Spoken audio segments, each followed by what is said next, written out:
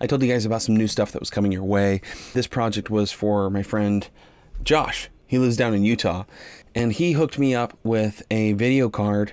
And in exchange for that video card, I hooked him up with some animation because he's going to be starting his own channel.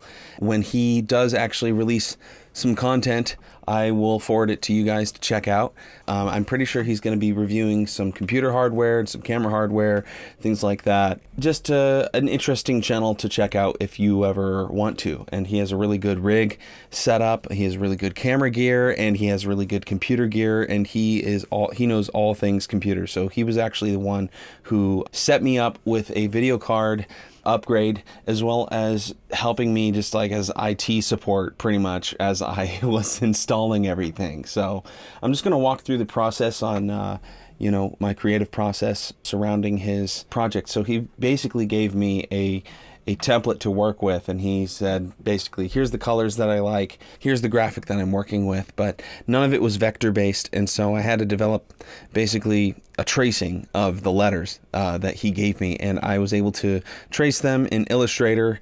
And then as I traced them I was thinking you know I, I can probably alter this in a couple of cool ways. I started with stacking the letters and kind of putting them nice and snugly together because I was thinking he's a computer guy. He likes building computers it would be kind of cool to stack these letters up together in a way that made sense that like would make everything feel snug kind of like it does in a computer setting where uh, when i was you know building out my computer and having him help me um, I, you know everything fits so tightly and and snugly you know in order to get to one piece you have to move this piece out of the way and you know everything stacks together and so I kind of had that in mind. And as I was developing it, as I was uh, stacking the letters, I started messing with the E, extending into the O, and I realized that that extension into the O made the O kind of look like a power button. And so I thought, he works with computers and let's incorporate that kind of theme you know let's uh, see if we can get the power button in here things just kept on developing and i felt like i got a good landing spot where i was like okay this this logo looks pretty good it's uh, it's reading well, and it's it look it says pure Josh, but it, it, it's nice and snug. Everything's nice and snug, and you got the power button it thrown in there, and so it kind of has a tech techie vibe. And he didn't want things to be too busy, too fancy, or anything like that. He just want he liked the basic minimalist presentation, and so with that in mind, I thought going into the animation process, I thought, okay, we should keep things neat, neat and tidy and simple, but at the same time, let's try to make it have have a little bit of flair. And so I started with the power button. I just like obviously when you boot, you know, a computer, you hit the power button to start. And so I thought let's start with a black screen and let's swipe down that little mark of the uh, power button and and inflate the uh, the circle around it, and then do a little click, you know, when when it turns on, and then boom, you got that green light that that comes on uh, behind it. And I'm using the same green that he gave me. And what I did is like I I worked backwards. Like I made the power button do its thing, but then I worked in reverse because I had to land on the pure Josh part. So I I formed all the letters with different solid layers uh, using the vectors from Illustrator I, to create masks essentially. And then for I basically was like thinking, how can I animate each thing in? And I thought the H you know, let's start with the H, and it kind of looks like it would be able to snap into something. And so I kind of, I bring things down, and then it comes to a slow down, and then it pops in. Again, I was trying to incorporate that kind of computer theme. So I'm, I'm basically forming the, a theme here where Josh is all about tech, he's all about computers, he's all about building things, and I just thought, let's have all of these letters snap in and like the S kind of cords out like a wire or something being plugged in and let's have everything snap together as though it were being built right in front of us in real time. And that's how that animation was built out, you know, and didn't take me too long to animate because it just kind of flowed and make, made sense the whole time. And after that, I was like, okay, how am I going to do sound? So I went into Reason I pulled up the glitch kit. Uh, there's a bunch of different glitch kits for the redrum machine. I was like, I can use all these different sound effects, you know, that are part of the glitch kit, and I thought that'd be kind of cool. So here's a couple of samples of those those glitch noises, just by themselves being played out, and me kind of, you know, I was discovering them and recording them and then I, I bounced each of them out as as their own separate little loop of, of noises. And I thought I'm just gonna make sense of this, you know. And then I also took a pad. I found a pad and I thought because I at the end of the animation I did like a nice little light sheen that kind of goes across the text and I thought there should be some sort of like uh, like some really like a major seven chord or something and so I did a major seven F I, I did an F7 F just made the the most sense to me you know I am deliberate in my chord choice but I don't always deliberately choose the key signature I just kind of go by feel and the F7 sounded right at the time. I'm pretty sure Josh is going to be doing some different music over it, so he might fade that out for his final bit, but you know, this this made the most sense to me when I did it. And so I made that. Then I I took all the sound that I bounced and I brought it into Audition.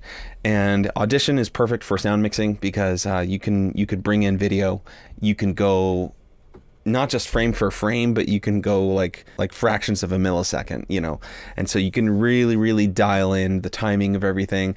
I, I started at the end with the chord, and then I went to the beginning and just wherever I saw some sort of motion or action, I just started plugging things in and matching things up. I was able to get a complete beginning to end hit on every single motion and i think he's got to turn things down. I gave him a full kind of a full blast mix. Everything's kind of turned up pretty loud. But i, I think it turned out cool because it's still it's simplistic and its in its presentation and yet it still feels detailed which i was going for i really like getting into the details, especially when it comes to sound design, because I feel like animation is only good when there's proper sound to sync up with it. When there's sound that kind of syncs up with it, it breathes a lot of life into the animation. And so it goes from, oh, that's interesting to, oh, wow, that's really cool.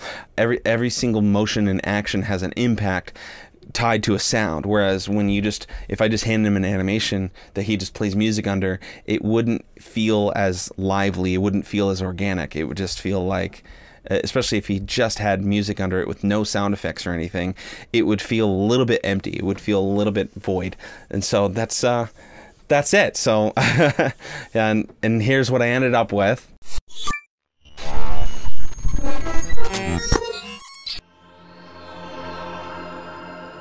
that's pretty much it.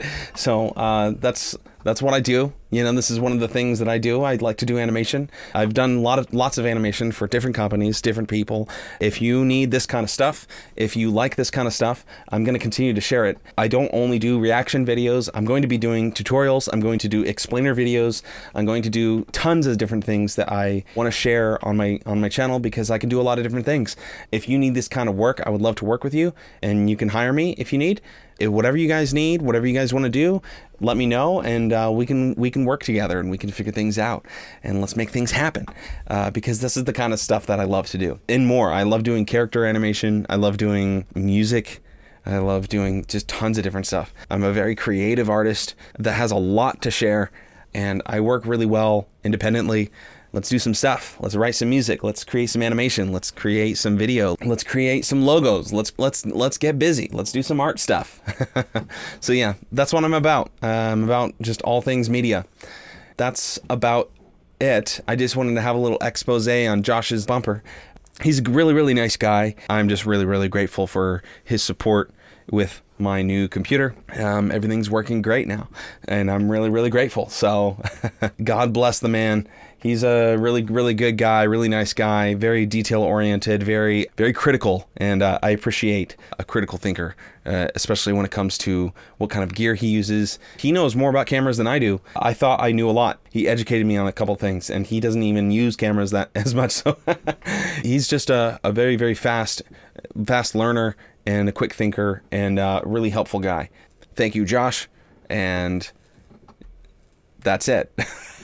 I don't know how to end a video like this. I've never done a video like this. So my, plan going forward is whenever I have a project that I'm able to share, I want to share it and I want to talk about it and I want to kind of give my thoughts on my approach and my creative process and all that stuff. So that's pretty much what I'm doing here. Uh, that's it. So I'll see you guys next time. See you on the next React video or whatever. Stay tuned. Always more content that I'm going to be producing.